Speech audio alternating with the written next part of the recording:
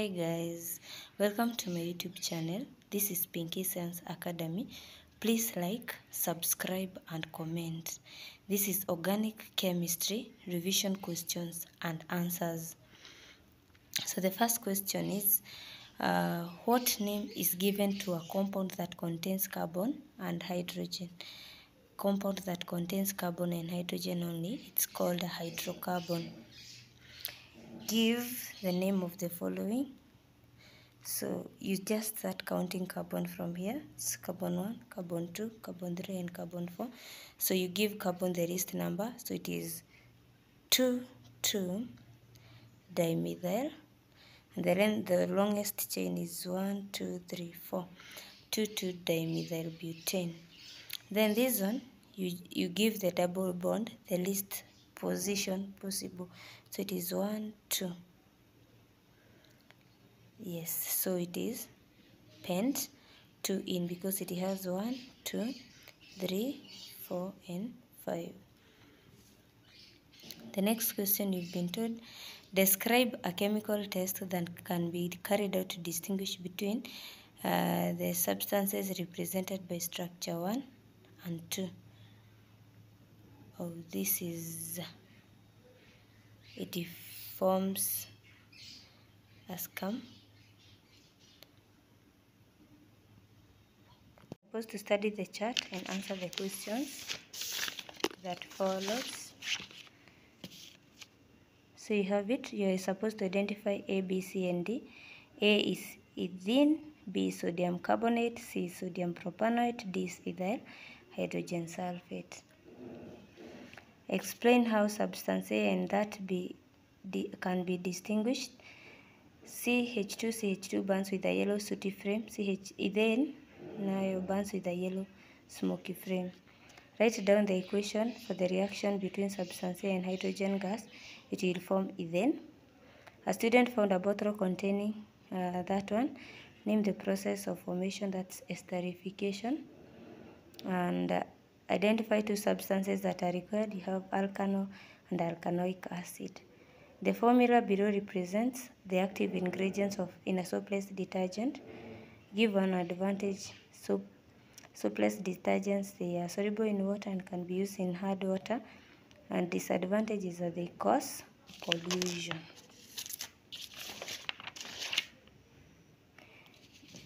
Thank you guys for watching. Please subscribe, like and comment. Bye. So describe the chemical test that can be carried out in order to distinguish the substances in 1 and 2 above.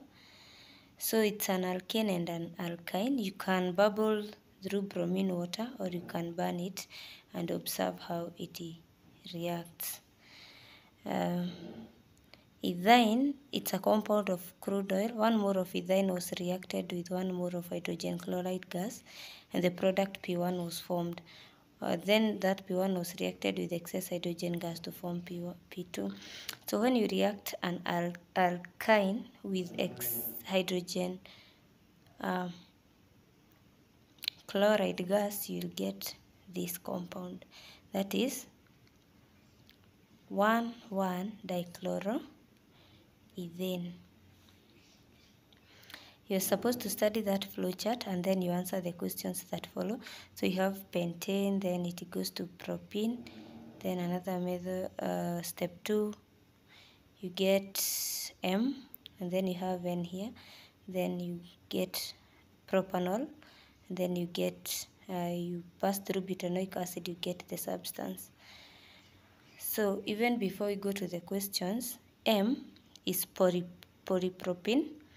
This process is cracking where a large chain alkane is broken down into smaller chain alkane and an alkene. Then propene when you add water, that is hydration. Propanol when you add uh, butanoic acid, now you are carrying out a esterification, so it's propyl butanoate. So you're supposed to name the process in step one, that is cracking condition. You need a temperature, a very high temperature of about 400 to 700 degrees Celsius. Identify substance N, that is ethane. And uh, one disadvantage of continued use of substance M. Uh, they uh, do not decompose easily and also they give off poisonous gases. The process represented in one, it's hydration, the name of the structural formula of compound Q, that is propyl butanoate.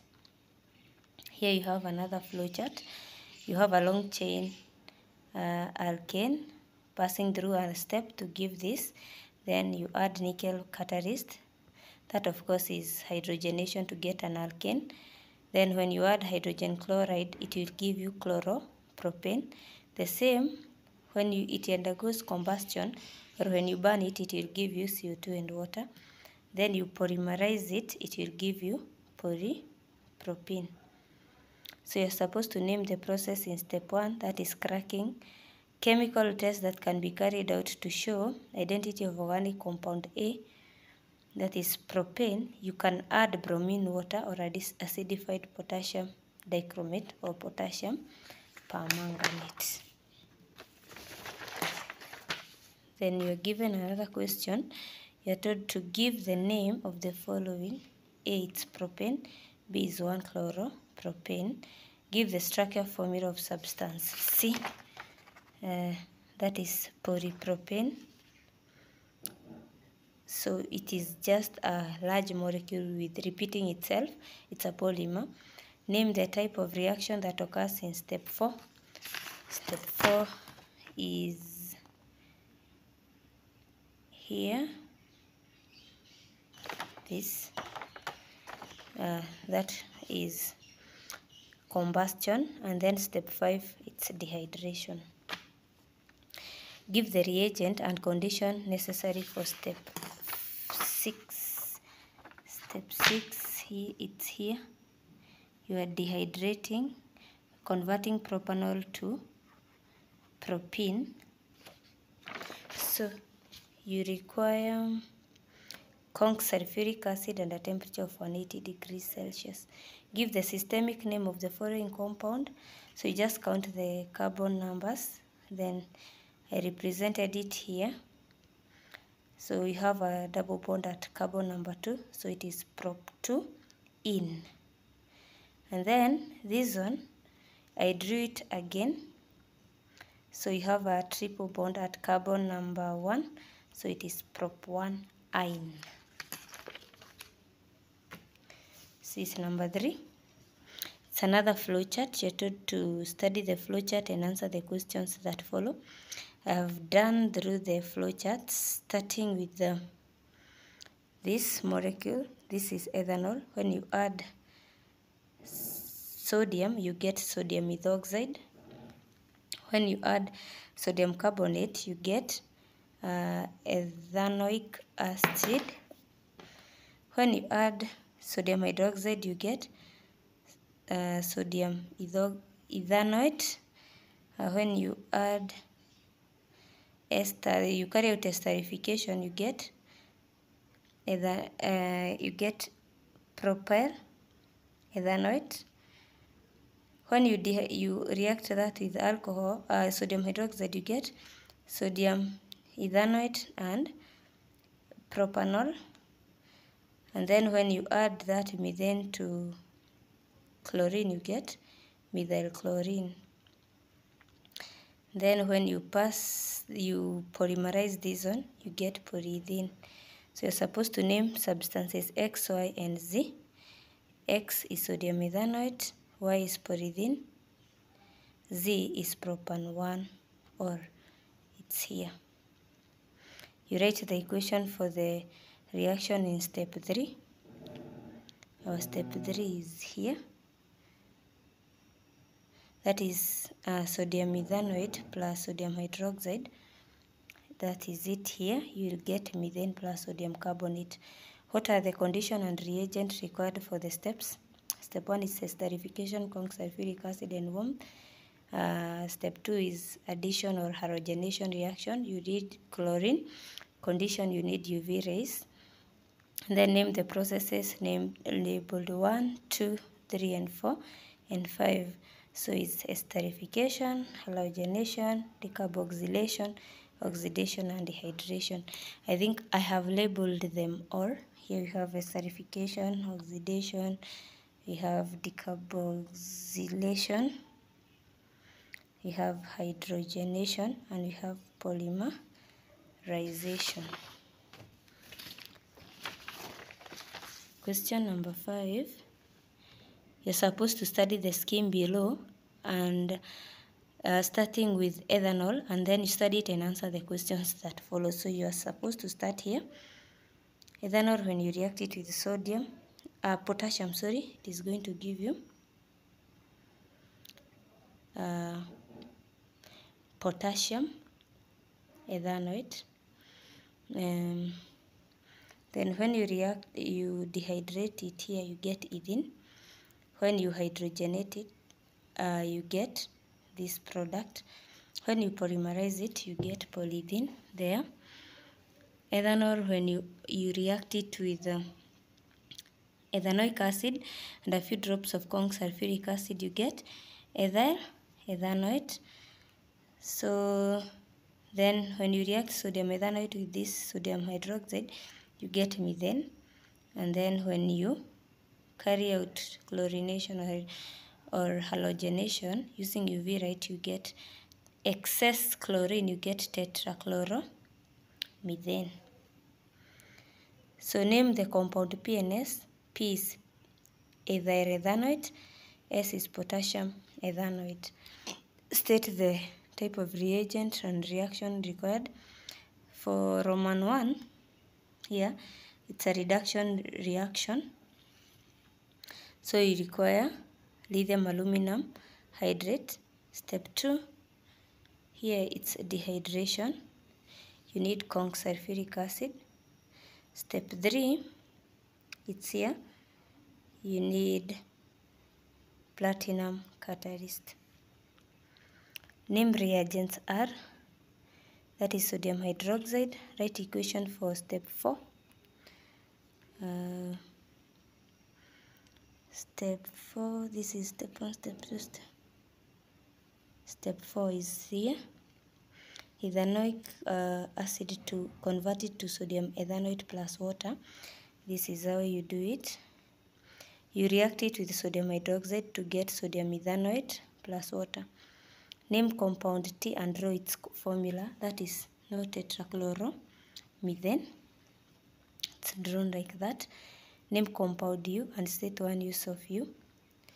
Compound U is here. That's polythene. So it is used to manufacture plastics or uh, polythene bags. And then you have another question. Name the processes marked W, X, and Y. So this is a question that is here. Here you're supposed to study the scheme and answer the questions that follow. So here you have fruit juice, crude oil. So you can start from pure this, that is ethanol. You oxidize it, you get ethanoic acid. Uh, you pass it, dehydrate, you get ethene. Uh, then you convert it using nickel catalyst get ethane, then you get dichloroethane. This process is esterification and the first process here is fermentation.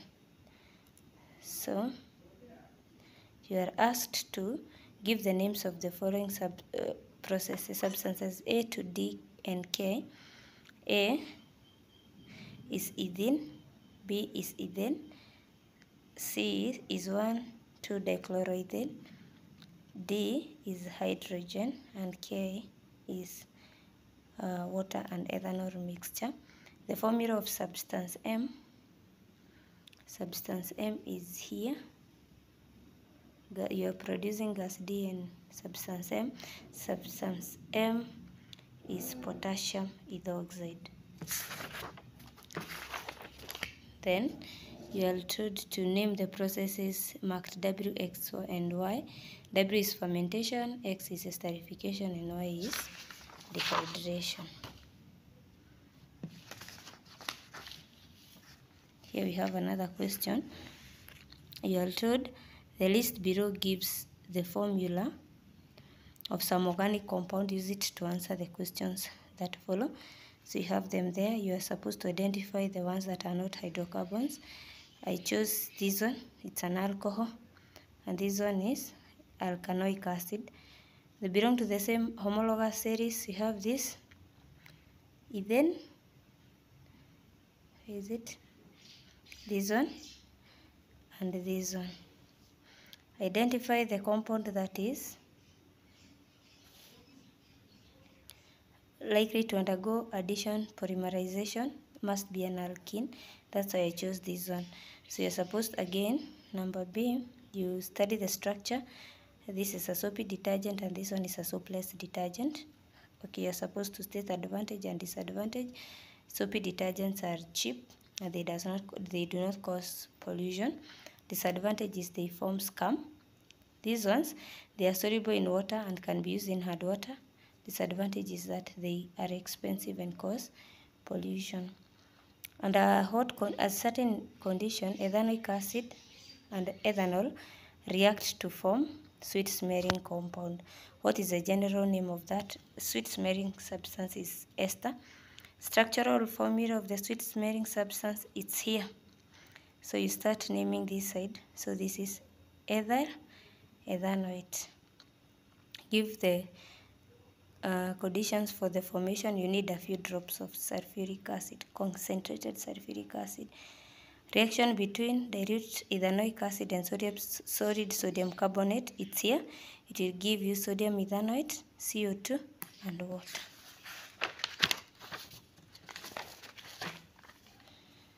So you have a table here showing the properties of organic compounds U, V, W.